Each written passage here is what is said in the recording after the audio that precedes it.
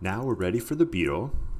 The beetle uh, is going to respond to the reset button. Every sprite you have needs to respond to the reset message. So when it receives reset, it stops the other scripts in the sprite, so the beetle will stop moving. So that's just the reset code there. Uh, you can reset the position if that makes sense, uh, but you're about to see why I don't bother doing it here.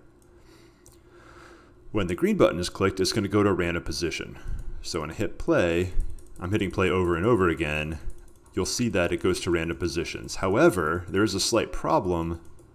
I saw it, there it is. I don't want the beetle to start right next to the player. I want there to be some distance in between. And so what we're going to do, there's repeat until this right here happens. And this is the distance to the player. And where did I get that? I went to distance 2, right there. Distance to player.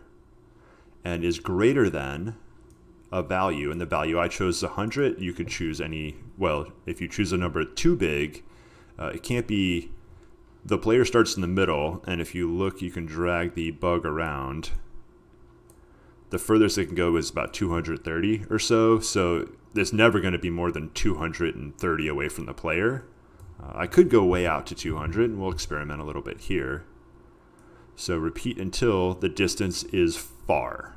This statement just basically says repeat until the distance to the player is far, more than 200, and then we're going to go to a random position. There we go.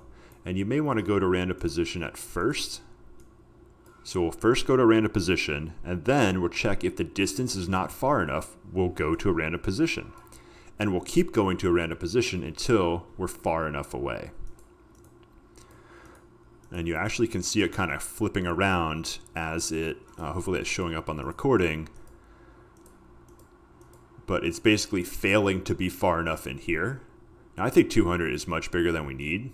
Oops, so I'm going to go to just a smaller number like 100 right there. And it should be much easier to just be 100 away.